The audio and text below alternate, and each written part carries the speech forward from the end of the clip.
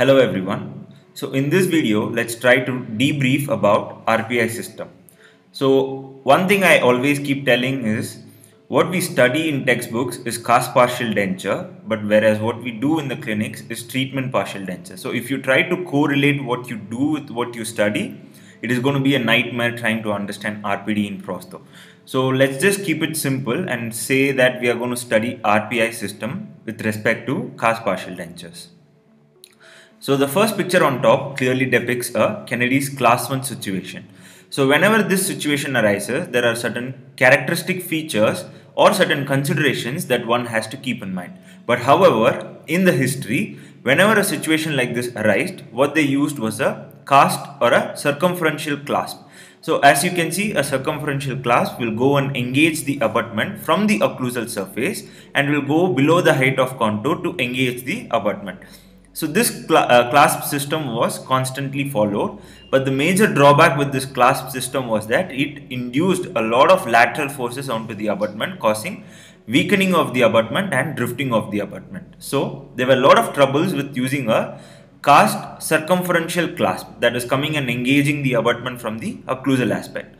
So what what we understood after a point of time doing such cases was that there needs to be a stress breaker effect. Why, why is there a stress breaker effect? Because we understood that there is a difference in resiliency of the tissues that is holding the denture base and the artificial teeth and the abutment that is going to go and where the clasp is going to go and engage. That means the amount of load that the tissue can take is slightly more compared to the amount of load that the abutment can take it is going to act like a lever arm. So when one side of the force is applied, when an occlusal force is applied to the edentulous side, a equal and an opposite upward force will be up applied onto the abutment. So this caused periodontal damage to the abutment and weakening of the abutment whenever a circumferential clasp was used.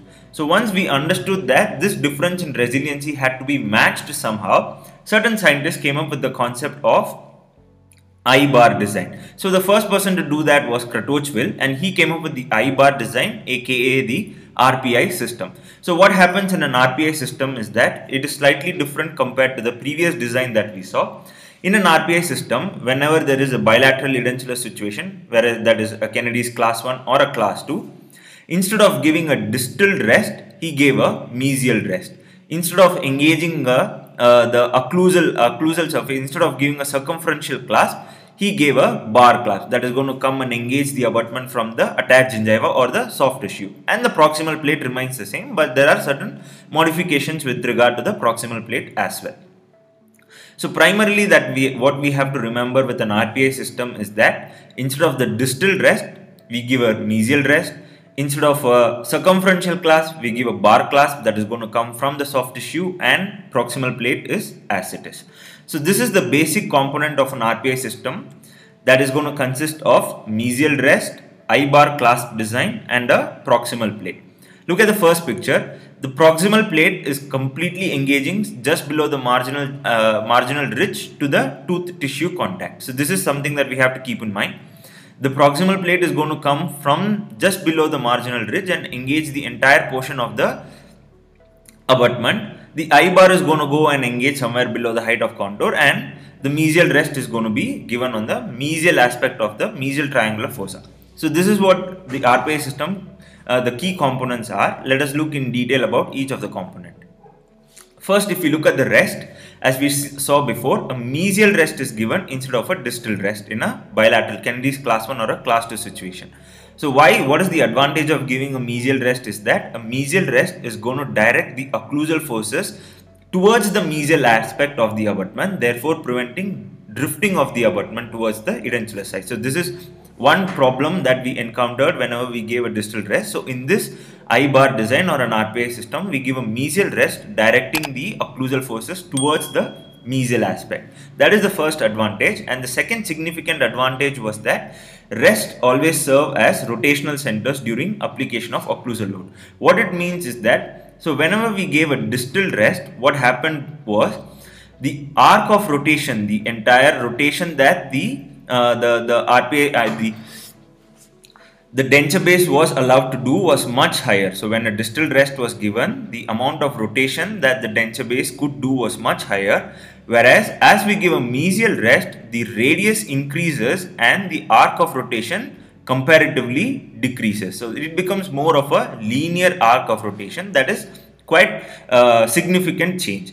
So these are the two significant changes that we bring about in an RPI system with giving a mesial rest.